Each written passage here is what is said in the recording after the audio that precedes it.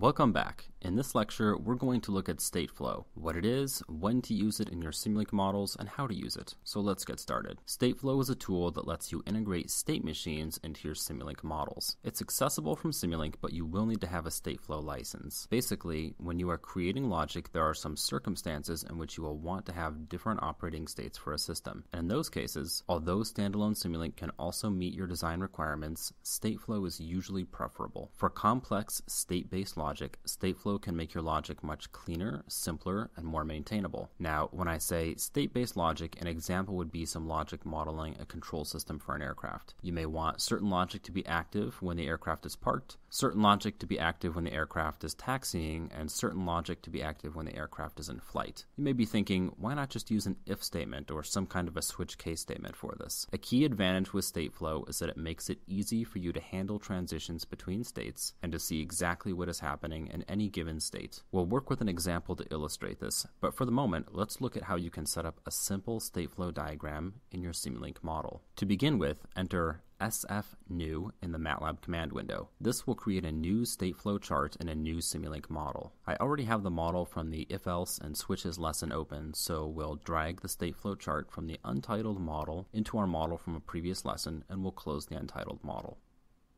Now let's look at how we can create inputs and outputs for this subsystem. To do that, just right-click over the stateflow chart and select the Explore option. You'll see an option that looks like a matrix that appears in the resulting browser. This is the Add Data option. Selecting this will add a new entry in the center column. This center column is used to set up inputs, outputs, internal parameters, and external parameters. Specify for the scope that your new entry should be an input. You can also select a data type. Usually you want a floating point double data type, but you may elect to use a Boolean data type to handle a binary signal, or you may be doing something for an embedded system and wish to use some other data type. You can also set up the data type to be an enumeration if you're using any enumerations. Click Apply. You can create an output the same way, so let's do that and click Apply again.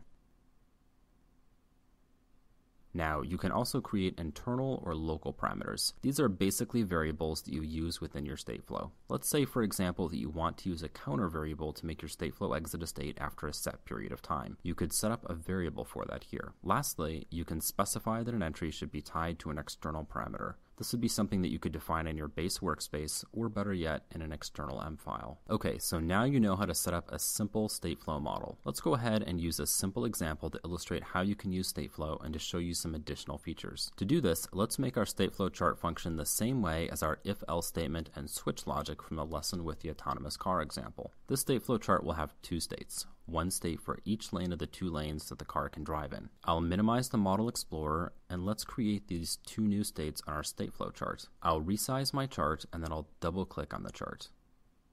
I'll click on the left sidebar's State option to pull two new states into the chart, which I'll call left lane and right lane.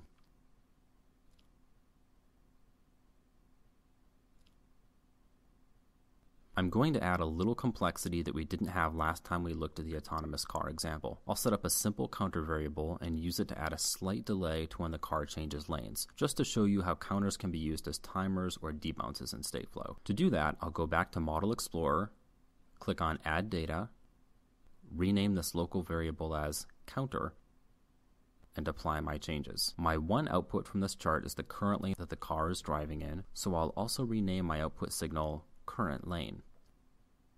Going back to the stateflow chart, we decided in our previous lesson that 1 means the right lane and 2 means the left lane, so I'll keep that convention. I'll set current lane equals 1 in my right lane state, and current lane equals 2 in my left lane state. Now I'll set up a transition between each of my two states, but I won't apply any conditional logic to the transition yet. I'll also set up the logic with the counter variable, a local parameter, such that the car waits a quarter second after all conditions are met before executing a lane change. To do this, I need to add a line to the state to reset the counter to zero, which I'll do with the command counter equals zero, and a second line to tell the counter to count up, which I'll do with the command counter equals counter plus 1 to increment my counter.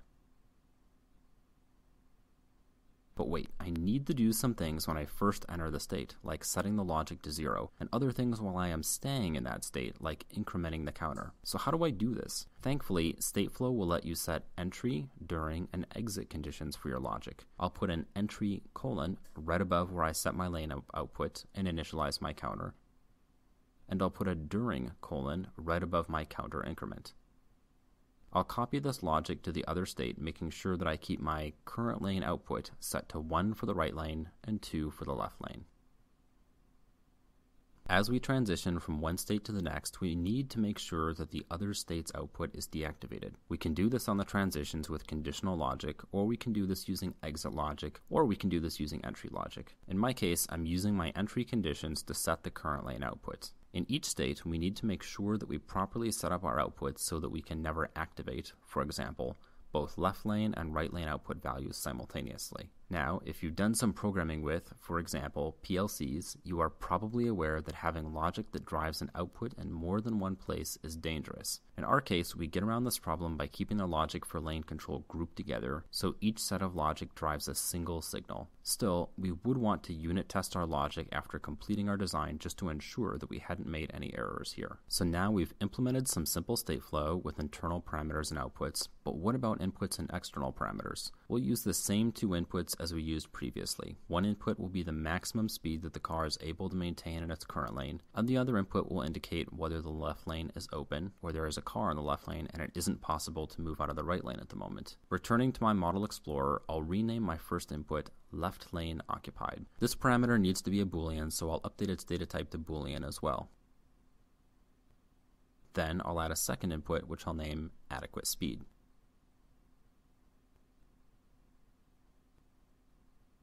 I'll move the chart just below the switch logic and feed the same inputs into the state flow chart as are going into the if-else logic and into the switch logic.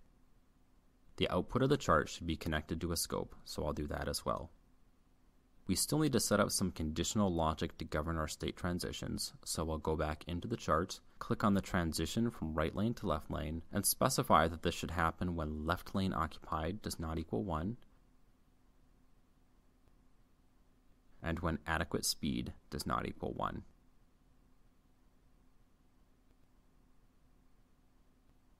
I also only want the transition when my counter has expired, so I'll set my counter threshold for the transition to be 3, since at a 100 millisecond sample rate, that's just over the minimum quarter of a second delay that I want to have. I'll copy and reuse my counter condition for the transition from the left lane to the right lane also, and add to that a requirement that the adequate speed flag in the right lane does not equal zero.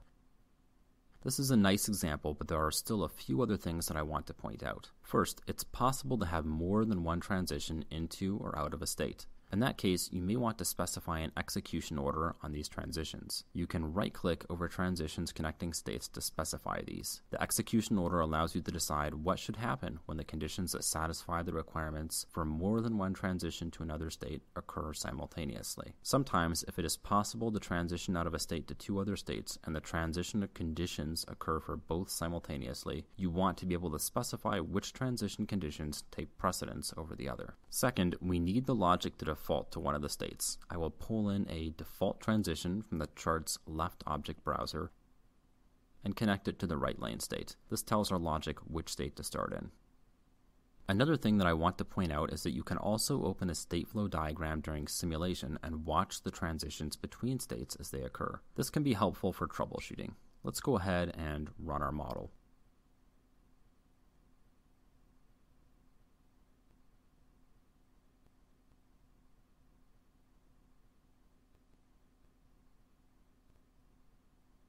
Now, I'll compare the stateflow output to the switch logic output to verify that the two are the same, other than the counter delays that we added into stateflow. Indeed, other than a slight adjustment to the stateflow output from the counter logic that I added, the two results are the same. This is just a very basic introduction to Stateflow, so I would invite you to take the time to try experimenting with it a bit yourself. But I wanted you to at least be a little familiar with it, and I wanted to give you a basic foundation to help you work effectively with Stateflow. I hope you've enjoyed the session and look forward to introducing another more advanced topic next time.